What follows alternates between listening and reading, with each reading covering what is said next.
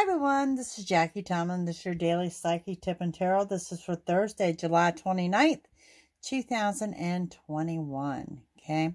You are under a day of good luck and abundance, but it's also guiding you to get the rest that you need before further development. And a quick glimpse of your temper I see on some of you guys. So let's take a look. First card up is the Ace of Wands. Ace of Wands indicating that there is a new beginning, and that new beginning is right now. Beside that, we have a warning card of the Three of Swords. Third person, unwanted advice and or opinions. Someone is in your business, so be warned of this. And beside that, we have the Victory card.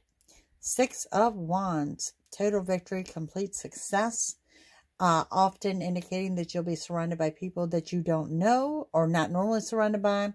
And for some of you, you will have an audience. But overall, we're looking at a new beginning as of today.